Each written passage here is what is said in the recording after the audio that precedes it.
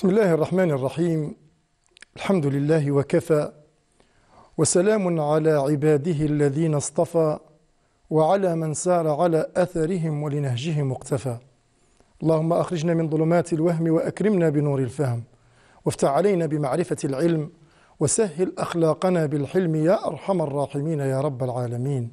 أما بعد مشاهدي الأكارم مشاهدات الكريمات تحية من عند الله مباركة طيبة. ومع لقاء جديد ومتجدد في سلسلتنا قصص وعبر. الإنسان في هذه الحياة يتعرض لمواقف ويتعرض لضغوطات وقد يسمع كلاما أو يقع في إحراج في مشهد من المشاهد وردة فعله تنبئ عن خلقه تنبئ عن ما يكتنزه بداخله. تنبئ عن جوهره ومكنونه. لذلك مثل هذه المواقف هي امتحانات يتعرض لها الإنسان وينبغي عليه أن يجتهد قدر الإمكان أن يخرج منها ناجحا أن يخرج منها فائزا أن يخرج منها مظفرا يروي لنا أحد الصالحين في مشهد يحاكي مثل هذه المشاهد عن أحد إخوانه وكان هذا الأخ من إخوانه الذين يحبهم ويستشعر فيهم الصلاح ويستشعر فيهم ملامح الاستقامة والهداية بتوفيق الله. يقول رأيت أخي هذا في يوم من الأيام وهو يمشي في الطريق فتعرض له أحدهم وأسمعه كلاما جارحا قال له كلاما فيه فظاظة وفيه غلظة كلام جارح فقال فما كان من أخي هذا الذي كان يعتقد فيه الصلاح؟ قال لما سمع كلامه هذا قال له كلمتين آجرك الله على ما قلت في من صواب وغفر لك ما قلت في من خطأ. كلمتان رد بهما على هذا الرجل الذي قال له كلاما جارحا قال له إن قلت في كلاما صائبا فإني أرجو أن أن يثيبك الله عز وجل وأن يؤتيك أجر هذا الكلام. وإن قلت في كلاما غير ذلك وكان كلامك خطأ فإني أدعو الله عز وجل أن يغفر لك. يقول هذا الرجل الصالح والله إني لأحب أخي هذا وما شعرت بأني أغبطه على أمر كما شعرت بالغبطة التي شعرت بها عندما سمعته يقول هاتين الكلمتين لهذا الرجل لأنه يدل على أنه كان في أرقى مراتب ضبط النفس وفي أرقى مراتب التحكم في نفسه. شخص يأتيك ويعترضك في الطريق ويقول لك كلاما جارحا قد يسبك قد يوبخك قد قد يقول لك كلاما لا تحب أن تسمعه أمام الناس. ورغم ذلك تحمل مثلما يعني جاء التعبير عنه في القرآن الكريم بكظم الغيظ تحمل كل ذلكم الألم وتحمل كل تلكم الإساءات وعندما أنهى الرجل كلامه لم يرد له بكلام مماثل.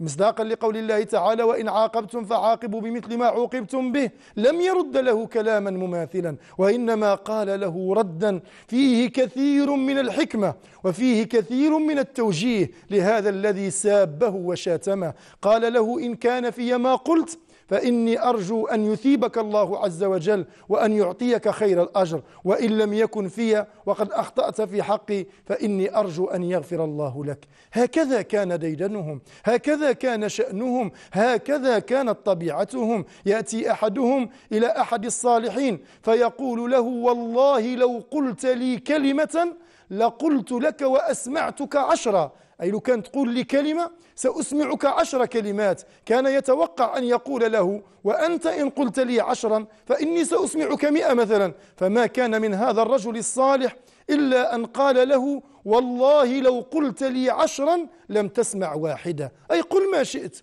سبني بما شئت قل في كلاما جارحا كما شئت فإنك لن تسمع مني ولو كلمة واحدة. هكذا كانوا يتحكمون في مشاعرهم ويضبطون أحاسيسهم ويضبطون ألسنتهم ولا يقابلون الإساءة بالإساءة. مقتفين بذلك بهدي النبي صلى الله عليه وسلم الذي كان يأتيه الرجل ويأتيه الأعرابي فيجذبه من ردائه الجذبة الشديدة التي تؤثر في عنق رسول الله صلى الله عليه وسلم. ورغم ذلك كان يلتفت إلى ذلكم الأعرابي الذي أساء إليه ويقابل إساءته بالإحسان ويبتسم في وجهه ويقول له ما حاجتك؟ فيقضي له حاجته بعد أن يسأله إياها. فهاته عبرة عظيمة نريد أن نقف معها من خلال هاته القصة وهو أن الإنسان ينبغي عليه في هاته المواقف الصعبة